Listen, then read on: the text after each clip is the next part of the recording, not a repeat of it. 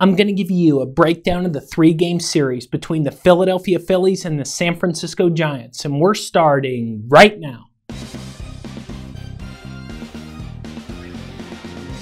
What is going on? My name is Alpha Omega. Welcome to another video.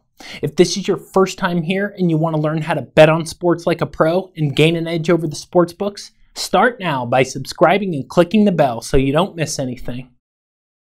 So I've been wanting to cover the Giants for a while now, but there have been other series that possessed more value from a betting perspective.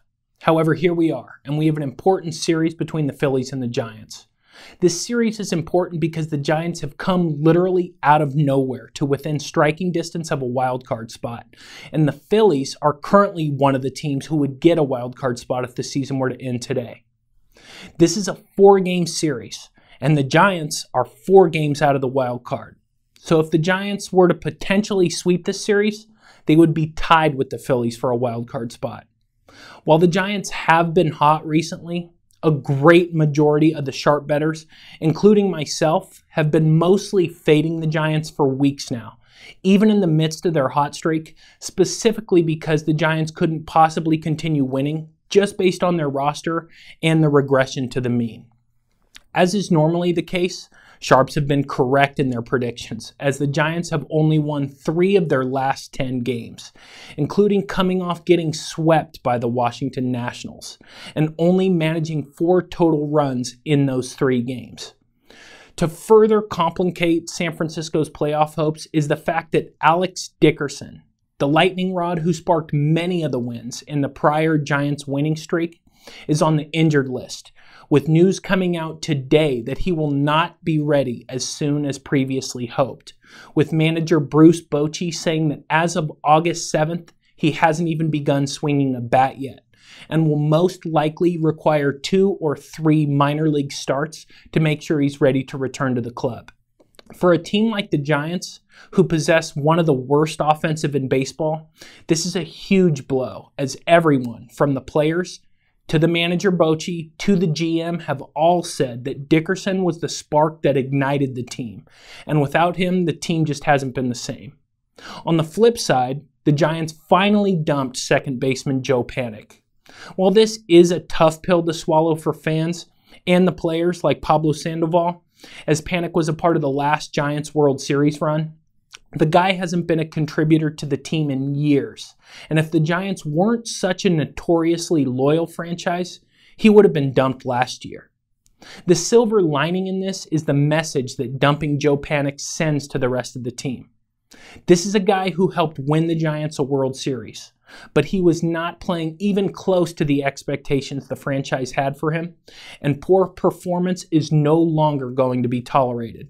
And if you want to remain a member of this club, you need to contribute. The Giants also have a great farm system, and there's plenty of young talent waiting to be called up. The question now, as a bettor, is to decide how you think the Giants will respond to all of this adversity. Don't count them out just yet. Also, I know I'm spending a lot of time talking about the negative aspects of this team, but all of this is important to consider before you make a bet on this series.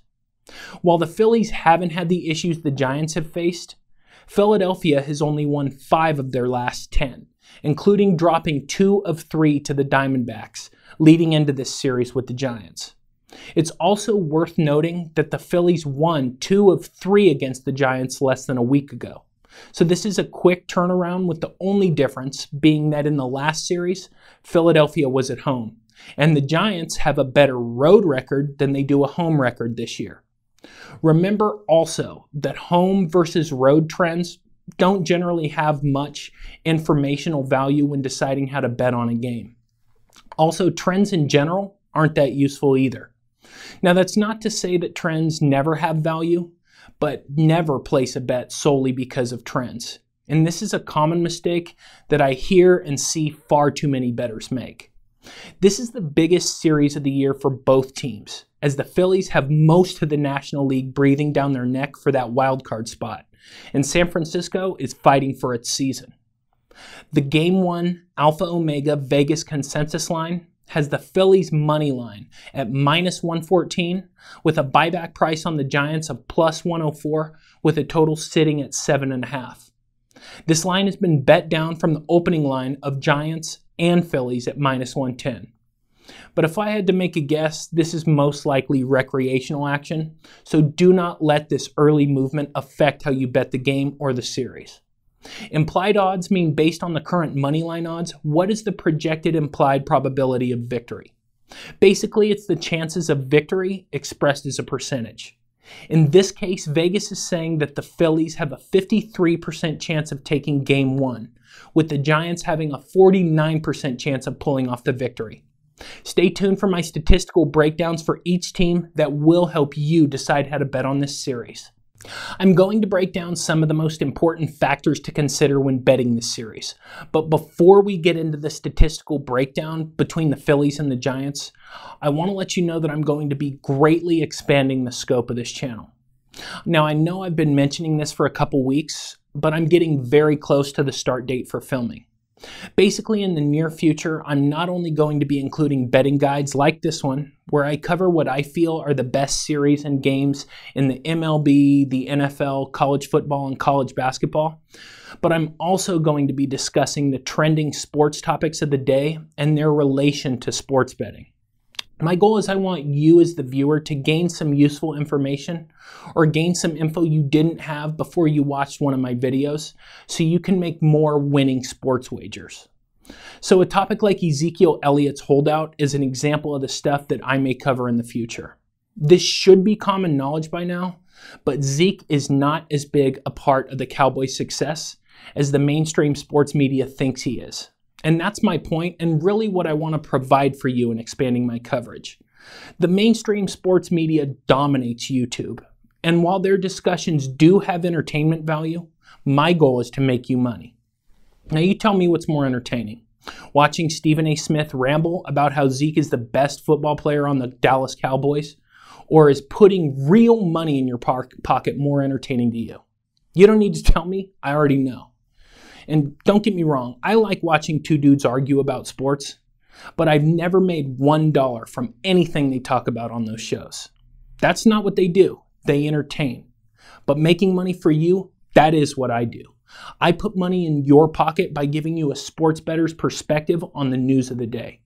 Quick thank you to everyone who watches, likes, comments, and subscribes because the way the YouTube algorithm works, every little bit counts. And the growth of this YouTube channel and kind of the subscribers and the likes, the comments, it's been awesome. So I want to thank you. Also, make sure and subscribe and hit that notification bell because, like I said, I'm going to be posting a lot of content. And remember that every single video that I make gives you free, actionable info that you can use to make smarter bets, regardless of whether you decide to sign up with me or not. Also, speaking of signing up, remember to hit the link in the description and sign up for a sports pick package on my website in order to get the plays that I bet on each day. I have sports pick packages that can fit in with any bankroll. I have discounts on season passes, and I'm at 65% in 2019 with my most popular Wise Guy plays. Regardless of the package you choose, the value increases when you sign up for a longer package. I have standard unit packages where you receive all of my regular daily plays. I have season passes for individual sports, and I also have my Wise Guy packages that include my max unit Wise Guy plays that are at 65% in 2019, along with occasional parlays that are not available when you purchase a standard unit package. Regardless of which package you choose, I email you my daily plays and you turn my picks into your profit. I'm also changing around my Wise Guy promotion to give you even more reason to sign up now. If you purchase any Wise Guy package one week or longer, I'm guaranteeing that you'll profit from my picks, or you get the rest of my MLB season pass and my entire NFL season worth of picks, including all Wise Guy plays for free. So you sign up for a Wise Guy package and you either turn a profit or you get all of my MLB season picks and my full NFL season pass through the Super Bowl for free. That also includes all Wise Guy plays in both sports. I've also never had a losing baseball season, so either way, you're going to make money with me. I also don't send out Wise Guy plays every day, so you end up receiving a lot more days than your purchased length. Hit the link in the description of the video and you will turn into a winning bettor. Now that I've updated you on the future of the channel and gone over why signing up with me can give you an edge over the sports books and turn you into a consistent winner, let's break down some of the factors to consider when making a bet on this series. FIP, or fielding independent pitching, measures the performance of a pitcher without taking into account the defense or luck. Yes, there is a mathematical equation to determine luck. Basically, fielding independent pitching is a more stable and reliable indicator of a pitcher's true performance than a more basic stat such as ERA. In this case, I'm speaking about relief pitching. The Giants rank second in all of the MLB in terms of relief FIP, and San Francisco has the best relief pitching in the National League, as only the Indians rank higher. The Phillies, on the other hand, rank 27th in terms of relief fielding independent pitching. What this means is that when Phillies relievers come in, it's time to bet on the Giants. And when the Giants bring in their relief pitching, especially in a close game, it might be a good idea to stay off the Phillies. Advantage Giants. A team's strikeout to walk ratio as it relates to offense measures a hitter's ability to distinguish between balls and strikes and stay patient and disciplined at the plate. The Phillies rank ninth in all of the MLB in terms of their offensive strikeout to walk ratio, which means that the Phillies hitters are generally more disciplined at the plate, don't strike out as much, and draw more walks. All of this is important, whether you're betting full game lines or live betting this series. The Giants, on the other hand, rank 20th in their offensive strikeout to walk ratio, which places them as a lower tier team in terms of plate discipline. Advantage Phillies. Another factor to consider is a team's pitcher's ability to get outs and stay in the game without burning through a bullpen. In a four game series, this could be important as the series moves on. The Giants rank third in all of the MLB in terms of the number of outs each pitcher records per nine innings, which means the Giants have very good pitching and also they have relievers capable of going multiple innings with ease. The Phillies, on the other hand, rank 18th in terms of allowed outs per pitcher per nine innings, which means the Phils don't do a good job of knocking an opposing pitcher off their game. So you have a top three team against a below average team. No question. Advantage Giants. Left on base percentage measures the percentage of base runners that a pitcher strands on base over the course of a season. This stat does not use the left on base numbers reported in box scores, but instead is calculated using a pitcher's actual hits, walks, and runs scored, which basically means this stat is more accurate because it's measuring what's actually going on in the game versus more of an estimate of what's going on. The Phillies starting pitching ranks fifth in left on base percentage, which places Philadelphia as one of the best teams in baseball.